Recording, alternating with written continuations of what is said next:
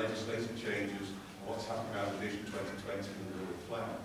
We've looked at now what is happening in the outside world in terms of best practice. So one of the areas we looked at is Trafford Council, recognised in the country as one of the best authorities for procurement. So we looked at how we can assimilate some of their contract procedures into ours. So what we've done is we have the choice. Do we look to modify the rules we have in Cheshire West and Chester, or do we look to sort of produce a new set of rules? Rather than modify the ones we had before, on with the best practice model. I say it mainly came from Trafford, and how we can improve ours along, along the similar principles. So that's what we've done. We've taken account legal, legal changes, based largely on the Trafford model. It seems fit for those that say it's well recognised. And what's that done? It made significant change to the rules. We, we consulted with the staff, considering extensively across the council to how we improve the process. So we have a document around 50 odd pages, plus the a toolkit that's available on the internet. Which then meant people were looking at two documents. It meant the main document itself was repetitive in certain areas. What we've done is streamline that. We put more information into the toolkit, trying to make the CPRs themselves more user-friendly. That's reduced the size of the CPR to around 30, 35 pages. Follows, read this one the to that, it does seem to flow a lot better than it did before. It's clear about where to go for asking for further advice and support, as opposed to trying to answer every question we've got. It's now more, these are general rules. If you need support, make sure you consult with procurement, make sure you consult with legal. So it's a bit more of a guide. I say that does direct people now towards the toolkit, which is available and been updated as well. The other thing we changed there is officer decision notices, something Cheshire West had, but it's fitted more than purpose in the contract procedure rules. So what we've done there, we've come up with a new term for called procedure rules approval documents, CRABs, and essentially that gives a different one to fill in the four categories, be extensions or waivers or contract changes. Because people now across the council are used to filling in the documents. It's given us a lot more information than we had before. And streamlined and tightened all the procedures. So it made logical sense to tighten those up again against the four areas we're trying to control contracts. So that process should give us a further step forward, a further enhancement to take contract procedures forward. Been some changes then to that the scheme of delegation was agreed by Cabinet and Council recently. And also that the change in financial limits as well. I say the rules are all set out in the back. It's 35 pages. Happy to try and take any questions from members. Maybe point out to members what the main reasons to main lead on this. Would have been here tonight. Unfortunately, he went to a meeting at Worcester Council last Monday and suffered a heart attack. He's okay, he's back at home, he's had emergency surgery, but he does face further heart surgery. Otherwise, Ray would have been here tonight. this. So who is that, Tom? Ray Williams, our head of procurement.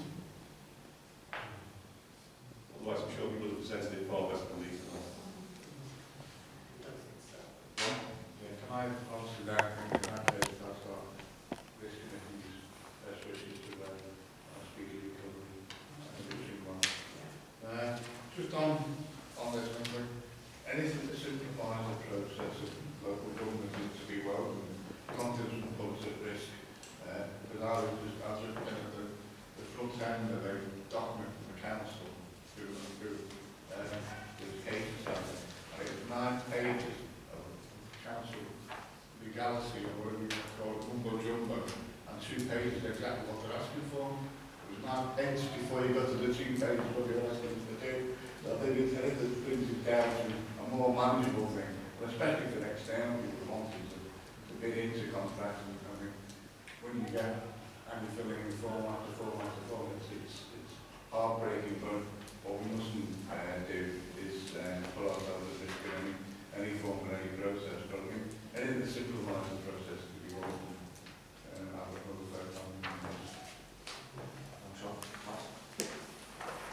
Thank you. Uh, obviously, everyone's comments and. Um, can I just quickly check, do you know it says in page 82, um, 2.4, that it's been um, reviewed by key users from across the council, compromising officer representation. Uh, do you know before this who that have been uh, reviewed this document? I can take it for you, but it was, uh, every director was contacted, it's all the senior staff, mainly those involved in contact, contract rules or contract rules. Do we ever get any outside? Because I thought, I essentially my thinking on this, and I might be wrong, but contract procedure rules, okay, yeah, there's a legal element and, and there's a governance element, which is very important. But then there's a commercial element to make sure that we are extracting the, every last penny of value from contracts. And I would have thought that outside, um, maybe the Chamber of Commerce or something might have uh, an interesting perspective looking at this. I wondered if we consulted them and whether there was any desire to speak to business on this. We consulted with the new generation directors, and they would have played engaged with colleagues, so they, they would have picked up issues that have been written on contracts they dealt with the Chamber of Commerce. But in terms of, these are the rules for the officers to abide by. Yeah. So it's a more an internal document. In terms of contract management, it's an area we're working on, and that's a section of the contract procedures, how we improve contract management going forward. And we do work with external businesses, mainly the chamber, particularly on regeneration contracts, how we can improve them. Okay. Thank you. Uh, Can I ask about page 99, uh, or 13, depending on how it's numbered, D at the top, 4D, um, Millennium Friends will probably got for garters, but why are contracts for the appointment of counsel excluded from this? You know, profession, presumably scale of fees and charges, and counsel running off to the bank with two or three thousand pounds for a little bit of advice. I'll probably have them all way on them now. They seem to excluded. I, I the, um, to that question uh, is linked also to the other limb of that uh, that talks to the appointment of experts. Uh, I think the, the thinking is, is that um, the appointment of counsel and appointment of experts should be judged solely on the relevance of their expertise necessarily have and the quality of their uh, that's not to say that uh, um, the officers um, appointing these uh, uh, counsel experts do not have any regard to, to, to cost. The, the primary consideration is to, is to um, appoint someone who um, uh, is capable of carrying out the task in hand. I think that's the reason why. But, uh, also, the other, the other um, uh, consideration is that sometimes, um, particularly related to the diocese, you have to appoint them to short notice and you can't really realistically uh, go through a tendering process if you need someone to represent you in court uh, in a few, days' time. That's at the other end of the market, as it. Um, page 106, section 822, and page 111, 962. In 822, there's a discussion about abnormally low quotes, and in 962, there's a mention of abnormally low tenders, uh, with advice being sought uh, from various people on that. Um, how do you define sort of abnormally low quote or abnormally low tender? Um, That is uh, a good question, um, and it is, uh, however, recognised in the um, European procurement rules that um, uh, uh, local authorities or indeed contracting authorities generally can uh, disqualify a tender if it is uh, falls within that criteria. Um, I- all I can say is if it's, it's, demonstrably um, below cost uh, the price, and uh, you have to make uh, proper inquiries before you, um, you, you reach that conclusion, um, uh, with the uh, prospective tender itself. So it's not a decision that very likely, but nonetheless, uh, if um, there are reasonable grounds to believe that, that the, um, the price is uh, uh, demonstrably below the, the true cost, and it's not in the interests of the council or to, to enter into a contract which uh, is not financially viable. Um, so, so uh, uh, that's how I can answer that question. Um, Yeah, I think we have to give the officers some credit in actually being able to adjudicate what is a exorbitantly low uh, tender. There's a process that comes with experience with the officers. Uh, we've always, under the old regime, when we had that best value, uh, and you, you basically turn against it, the price. And we've experienced, I know this, uh, throughout local governments, you've had a lot of, like, a lot of the companies have gone bankrupt because they haven't been able to fulfill their, their, their duty because the price has been too low. Not been a marketable price. They're trying in with a loss leader, trying to get the work. It's happened where like be scarce and, and, and then, then not able to complete the work. And then it costs twice as much to reappoint somebody to finish the work off. I think that's part of the process and actually being able to adjudicate when the market rate tells you that it's not feasible to do that job or do that service at that particular price. I mean, that, you know, that's what we employ officers, the level we do, to make them judgments and whether they are, uh, what I would call loss leaders or, or false tenders. Again, again, very briefly, page 32, page 18 of the draft report, we look at item 12, of being able to approach a term gamekeeper. Uh, clearly, that extension or variation of overspending contract does require very, very careful monitoring, because I managed to make our company stay in business by pursuing that, that situation on, on many occasions.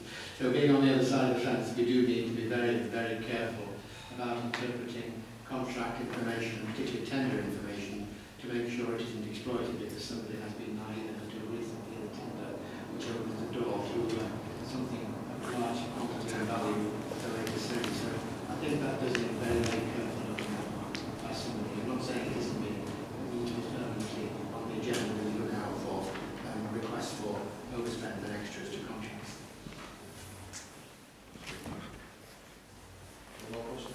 John? Going back to page 99 at the top, about the appointment of counsel, uh, by the head of legal services. I wonder to what extent um, the government, or it is possible because the choice might be governed by what the council uh, says will be charged with the advice. Um, uh, because if it's, he's asked for the advice, and he, he gets the job because he's known not to charge so much, and then proceedings related to jobs, he still gets paid, doesn't he? It's the nature of the profession. Um, I- I'm mindful of uh, a case which went on the vote most of 2014 into the early part of this year uh, about a planning application, or a lack of a planning application on premises in my ward, uh, where the legal opinion uh, from within the authority was that planning permission was required. And then the other side uh, put in this um, very long um, legal document to the council, at which stage uh, we engaged council who said, oh yes, I think he's right, he doesn't require it. Thereupon, one of the residents obtained uh, legal advice from one of the leading experts in the country from London, who said, yes, they do need uh, legal. And, you know, uh, and then, of course, we were in a situation there where uh, the one of the uh, head of legal services has a problem.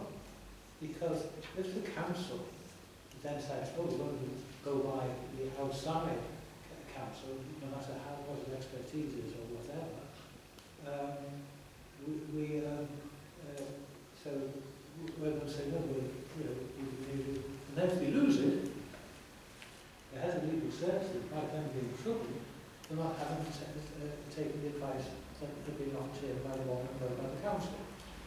Very complicated matter this, but in, what I'm really saying is, I don't think it's as simple as just saying that the head of legal services is involved with uh, um, powers or knowledge, because it's also the reason why you employ a particular individual and what their uh, uh, area of expertise is. And I think that's an area possibly um, that should be examined uh, to make sure that given the subject under discussion, that we are engaging the right counsel.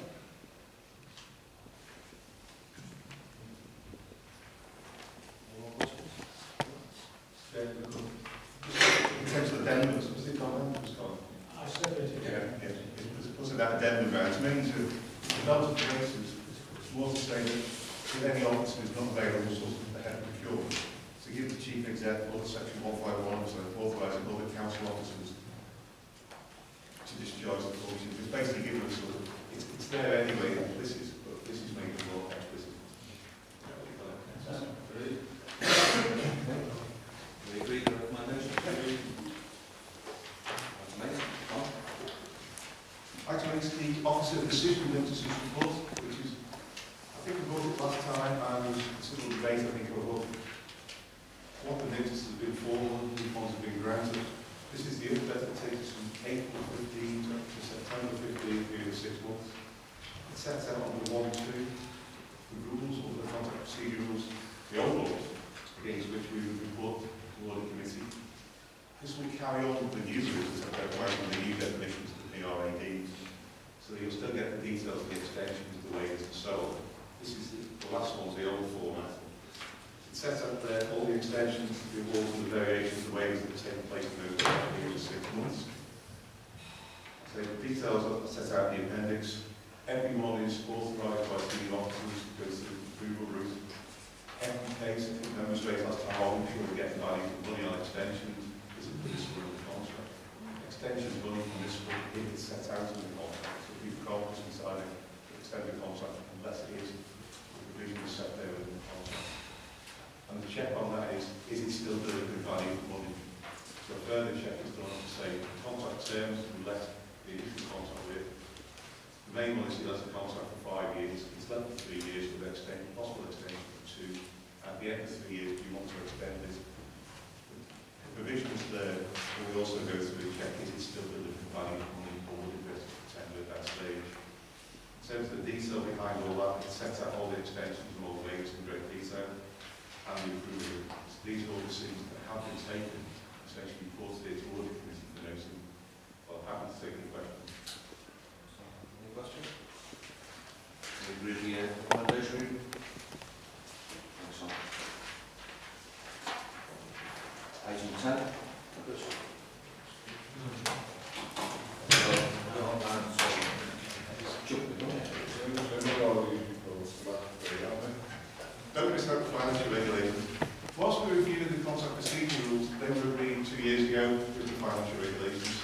Seemed an opportune time to review financial regs at the same time. Again, it's picking up the changes that come out legislatively. It's picking up the changes the council made in terms of structure and responsibilities, in terms of schemes of delegation. And also since last time we brought in public health came last time, we sent those on board as well. In terms of the change we made, set out in section 2.7. The difference with the financial regs, with the procedure rules, we took from Cheshire West and adapted them to fit rule. In, under the financial regulations, at the time, we went to amend ours and adapted them rather than adopting Cheshire West. Cheshire West at the time, I think, ran to an excess of 100 pages. So we kept with our financial regulations. It seemed at the time, we had at the time sort of an interim director resources in place. He went and his comparison was all were fit for. So we went with our regulations, them at the time to make a few changes to that legislative and operational changes. We're doing the same again now. They still, they still seem for purpose for the local authorities. So the change we made there says that was there on section 2.7. This is clarification of the areas around carry forward to and capital spend. Environment rules have just been amended slightly. Uh, regulations regarding reserves have been tightened, particularly around that links with the carry forward. Any money that is carried forward has to be justified. Now it's signed off on itself as section 151 officer. It's the flexibility to carry money forward for no, you basically underspend it, can't carry it forward. No, it's got to be a justification for carrying money forward. Um, it's been updated again on the internal audit side. Monitoring, we want to change the standards. And then the main changes are factored into the documents. The document itself is set out in the appendix. So they're, they're the main changes. It's mainly updating to reflect the changes, legislative changes, and operational changes, and a few tweaks to improve efficiency. And again, these have been circulated around a group of officers involved with the financial rules and regulations to pick up any of their comments as well. Again, happy to take the comments. Any questions?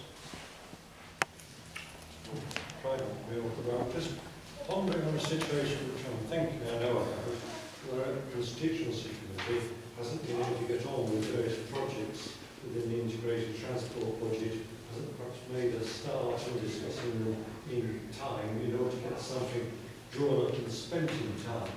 Because we've devolved the budget from on high to constituency committees, and they might have difficulty doing something, I'd be anxious if these regulations, special occasion 145, meant that they would lose it and it would disappear forevermore back into a pot and they'd never get a chance to do it again. Sure, Councillor because that, that issue came up last year, I think it was two constituency committee said they committed it not spent it. On those grounds, money was carried forward as a principle. The money's been committed but not spent, it's where the money's sitting there with no plan to spend it. So there has to be a decision, why can they carry it forward?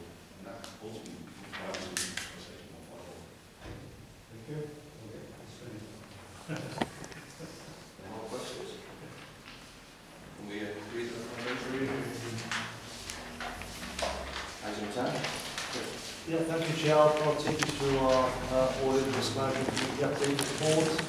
Uh, This is one of our regular reports that we bring to the audit committee, informing you of the key milestones uh, that we plan to undertake to deliver our our audit 2015-16, bring to your attention key national issues and reports and provide you with some challenge questions that you uh, may want to consider. If I could refer you to page 185, um, that sets out uh, our progress as of November 2015. It might appear to be a, a lack of progress, I tend to say, at this time of the year, as the next item was the uh, annual audit letter 2014. So we've just concluded our, our work and issued the opinions on 14-15, and we're about to begin our, our work on our audit of uh, the financial year 2015-16.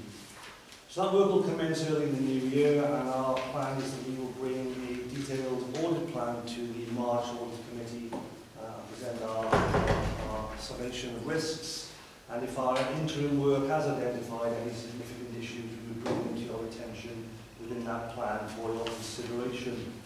Uh, it goes on at the bottom of the page to set out uh, a slightly more challenging timetable for the audit of the uh, final accounts. Incorporating the issue that's set out over the page, the government have published plans to, to bring forward a, a mandated revised timetable for local government bodies to produce their accounts. By 2017-18, you will have to produce uh, draft accounts by the end of May. And the challenge for the auditor will be to uh, undertake the audit and issue the opinion by the 31st of July. So what we're thinking of doing is working in conjunction with offices to try and endeavour to do that on an incremental basis. Um, so our intention is to try and uh, complete our work uh, before the deadlines change by around August uh, next year. Over the page on 186, uh, we set out there that the voting conclusion uh, is undergoing a, a review currently. It's now uh, responsibility of the National Audit Office following the abolition of the Audit Commission to oversee uh, the Value for Money programme and uh, perhaps understand that every four or five years these uh, uh, assessments get reviewed and consultations undertaken at the moment and I would hope to be able to confirm to you uh, what the revised arrangements would be. Uh, essentially I describe it as a, a more of a rebranding a fundamental change to the way we undertake the work and what it entails. Some uh, new terminology coming in, but it will have a stronger focus on uh, issues such as alternative delivery models, procurement, which we discussed today. We'll continue to focus clearly on the uh, savings or the, or the cuts that you as an authority are required to make. Um, again, this bottom of that page uh, it sets out that timetable I, I referred to. The following pages then contain uh, some references to some Grant Thornton International reports and contain links to those. Uh, if any members uh, wanted hard copy reports, then we'd be more than happy to provide those.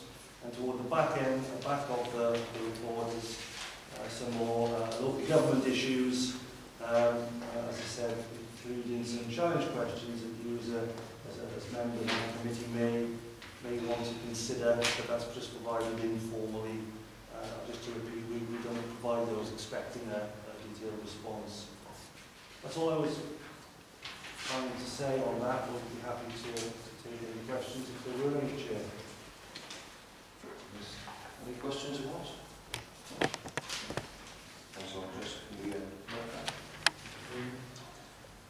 Hello.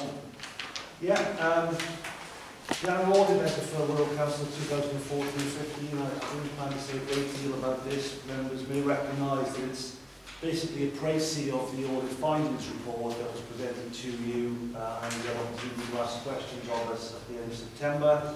Uh, it's a, a formal document that, as I mentioned, includes our work on 2014-15.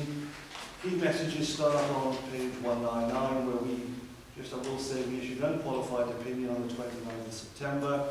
A small number of uh, issues were identified then which impacted on the financial position of the council. At the bottom of the page, just under the looking forward, we alert uh, and just reinforce two key emerging issues that will uh, apply to local government in, in future years. Uh, for some reason, um, as a personal view, the government have decided that they want local government to uh, value infrastructure assets. So your roads, bridges, uh, curbs, pavements, bus shelters, lighting, cycle paths uh, need to be valued, uh, valued to go onto the balance sheet of UK PLC. Estimates are that that could add 200 to 400 billion to, to the balance sheet. Uh, it's a critical challenge for all local government bodies because um, I think the estimate of some, some authorities is they could have 30 to 35 billion pounds added to their balance sheets. And we'll still, as auditors, be required to assess you against the materiality based on your revenue spend. So it might be 10 billion pound materiality and somewhere like Surrey apparently is anticipating it could be adding 30 billion to uh, their balance sheet. So the margin for error um, is quite sensitive.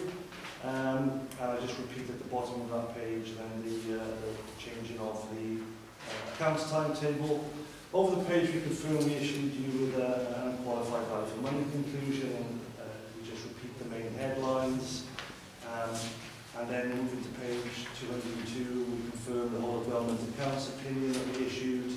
Uh, we're currently working and hoping to conclude the certification of the housing benefit claimed by the deadline of the 30th of November. And finally, we uh, repeated the audit fee uh, for 14-15 was 213 uh, 150. And finally, just some of the high, the high priority recommendations are repeated uh, with the action plan comments. Uh, we close with a, a more detailed analysis of the fee and the outputs that we to you during the year. Thanks, Chris. Rob? Yeah, I just also thank our um, people for the work that they do.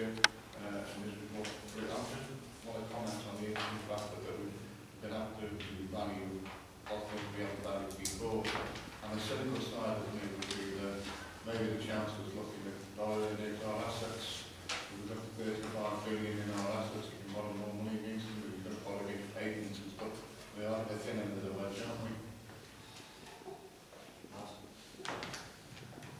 Thank you, Chair. Um, two questions. One, following the letter, it states um, that we're moving forward our accounting date by two months. I just wondered what um, thought would be the and we're well for that. That's the question. I think it's just fair to add that we're not bringing it forward till 2017-18. But next year we'll look forward to bring our, our day forward if we can and get the audit completed hopefully by the end of August. So it's a stage approach over the next few years, but it will have to come forward from September to the end of July. Ju- ju- Just, just on And we're going to do it in stages as well, we're just going for the big hit in 17 We're going to do it in stages over the next couple of years to bring it forward. Just on that, Grant Thornton um, have organised a number of training events um, and invited Wirral key officers to that. I think it's uh, later this month or just in the new year, where we're bringing together uh, key finance officers from across the northwest to have a workshop to sort of brainstorm what the main risks and challenges will be. But also at those events, there are a number of authorities who voluntarily across the country decided for a variety of reasons that they, they wanted in previous years to produce their accounts early and have challenged their auditors to uh, give an opinion. Uh, the City of Westminster and Oldham have managed to produce accounts by the end of May with an audit opinion uh, in June or July already. Um, that's been perhaps achieved with uh, additional resources clearly, but, but those, those authorities will provide speakers so that, the experiences, actual experiences and, and sort of tips can be shared to try and make the, uh, uh, the challenge uh, uh, less difficult. I'm not, not necessarily myself. Um, and then the second, the second question I had, um, we talked about the audit fee. I just wondered, do we ever do an exercise to check that that is comparative uh,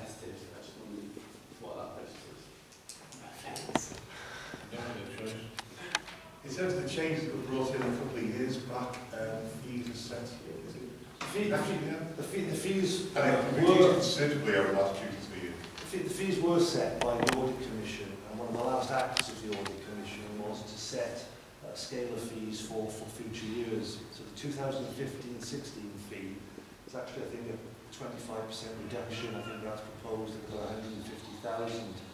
So it's set by the Audit Commission, it was set by the Audit Commission. They had a slightly convoluted formula, but it was closely aligned to the uh, gross revenue spending expenditure authorities. So it's quite formulaic, set by the Audit Commission. It's not set by um, the, the, auditors or the auditing bodies. There could be no variation. Pardon? There can't be a variation. Well, there will be a variation between, I mean, authorities of a similar size to you, I'm not sure what you could compare, but there would be, you would expect their authorities are spending seven, eight hundred million pounds a year, um, or would have a, a similar fee to uh, an authority spending six hundred million pounds, but one that spent maybe two billion, I think in Birmingham or some of the London boroughs, they would have a, a fee perhaps double yours. So it's very closely linked to, to spend and the range of activities that a council undertook. Okay, maybe they've got more money to pay, maybe they've got more pay. Yeah, of course, I didn't know it was set. I thought, I thought it was a... Council, let's not stop. That's going to take a lot of money, isn't it? David? It would be fit to go the pedometers, that we can walk around, count I think some of the papers advisable would would be liable. You can't write to me. Yeah, yes, yes, we have, yeah, but also like a flags. Thank you, Chair. David. Um, my query really relates to page 203, where we've been advised that the council needs to urgently address the issue of misreporting of sickness absence. I think we've all been aware for a while that we've got a problem with sickness absence, but I didn't know in addition to that, we've got the double whammy of it being misreported. Does that mean that it's worse than we thought, or that it's better than we thought because the wrong information has been given out? I mean, I think it's a serious point that's been raised, and I'd like a little bit of clarification, please, on why, why or what this misreporting consists of. trying to recall now, I'm sure a few months back, there was a piece of work by the internal audit recording, and that highlighted a number of recommendations. One of the areas highlighted was potential misreporting of sickness and absence. So further steps we've put in place to try to control and procedures around that. So there might have been an element, it's as, as and when self-serve came in, there was an element of individuals had to put their own sickness on there, and whether it's been tightly controlled by managers, the procedures have been tightened up since. So there might have been an element of misreporting a year, 18 months ago, but all the policy procedures are tightened up since. I think obviously my concern was that people either were taking more time off than, than was being reported, or in some way what they were saying was, was incorrect, or they weren't ill, or whatever, you know. I think we just need a little bit more clarification as to what that misreporting was, maybe, maybe Grant Goldman could tell us what, what that was in. In terms of this report, it's more managers were not logging it on the system, but people are offset. With more things. That, that, that was the issue. Which would mean that the figures were looking better than they actually were, bad as they were. Potentially. Thank you. That's all I need to know. Thanks. I was trying to recollect the figures because I think at one time we thought we were making progress. Yes, And it might have gone down about nine point two or nine and a half days or something like that. And when it was reevaluated, it was actually over ten or ten point two. So perhaps it's a convenient time, uh, we may, this might not be like Midway Transformation Resources or somewhere, they should have an up-to-date figure if they haven't got one already that shows what it appears to be now. Through you, Chair. Quite right, we did undertake a fairly significant piece of work on this uh, short while back. Uh, we did find out the fact that self-serve system wasn't operating as it should be. Some structures within self-serve didn't reflect the sort of management So there clearly were issues there in terms of reporting. Uh, if anything, yes, you probably might it was an under-reporting rather than no-reporting. Uh, it is something that, that senior management are extremely active in relation to. It's uh, an issue that sits on the uh, annual Dublin statement. Um, so it, it, you know, it's attracted a lot of their attention on an ongoing sort of basis.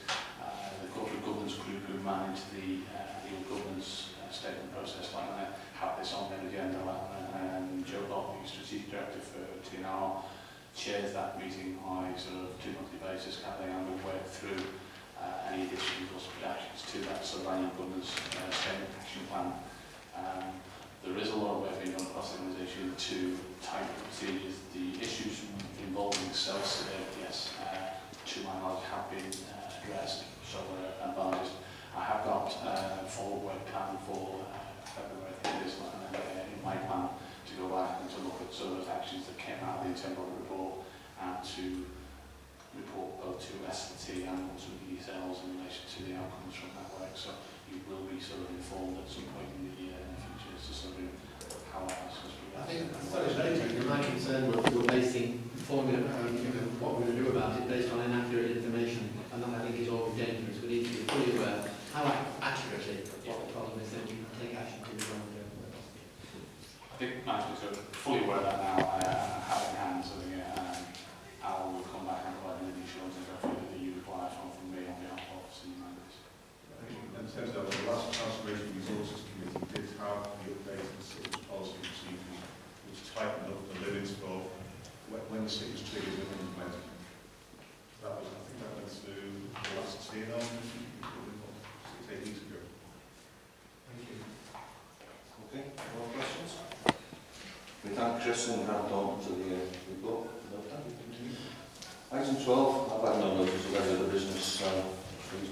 thank you all